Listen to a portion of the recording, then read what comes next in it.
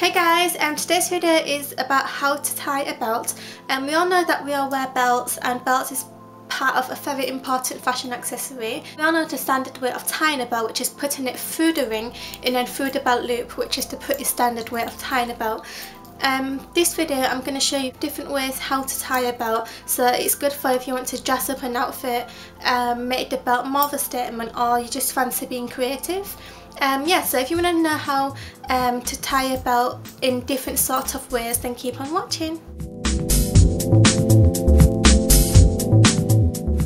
I'm going to start off by using this belt which is from Primark. I'm going to take it and wrap it around the waist and tie it just how you would normally tie a waist belt.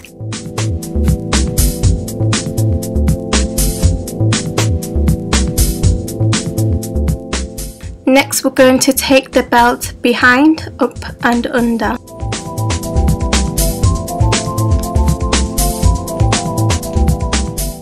And now you should have your first styled belt.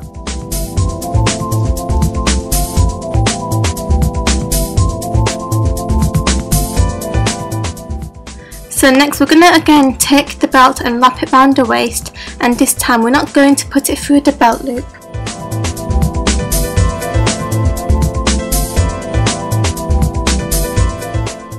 As you can see the belt loop is still free. So now we're going to take it behind and up again but when bringing it down we're going to insert that through the belt loop.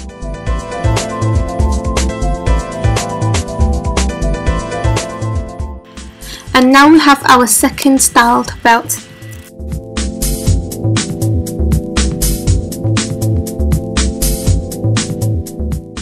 So for this style, any thin belt will work best. Here I have a thin braided belt. So again, wrapping it around my waist, I'm just going to cross them over at the front. Taking the side with the hoop on, I'm going to put that over and under the belt. So now you should have something looking a little something like this and we're going to take the other side, put it under the belt and we're going to insert that through the loop to create a nice tight knot.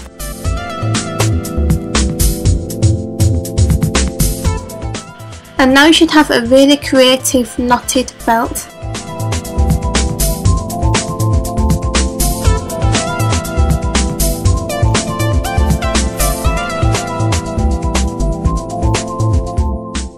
So on our final styling belt, I'm going to again wrap that around my waist and just wear it how you would normally wear a standard belt.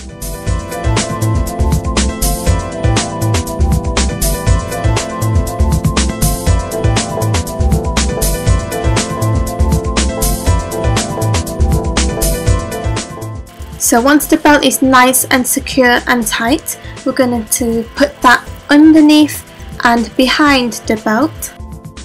We're going to bring the remainder of the belt up and through the loop. Pull the belt and make sure it's really nice, tight and secure. Finally we should have something that looks like this. Thanks for watching guys and until my next video, take care.